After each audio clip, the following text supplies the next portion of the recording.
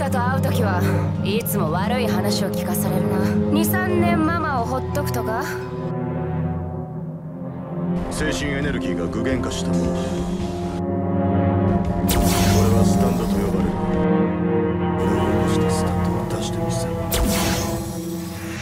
しかしお前をここからそのために来た。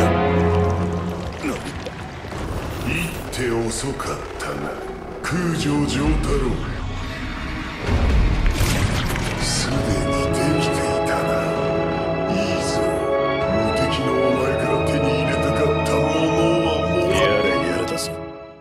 俺のスタープラチナと同じタイプのスタンドだな。これはこ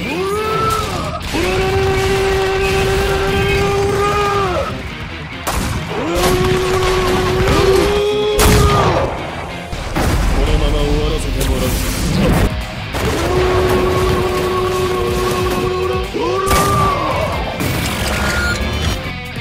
叩き壊してやるぞ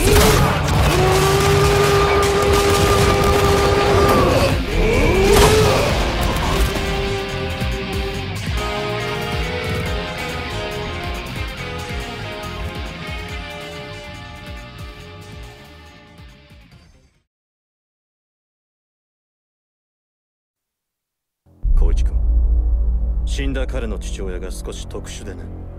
それで調べている。体質？何者なんです？死んだ彼の父親が少し特殊でね。それで調べている。旅費は全額負担するよ。え？全額ですか？へえ。あーなんかこの少年失礼ですけど。スピードワゴン財団に体質を調べてもらう。薄皮でいいんだがちょっぴ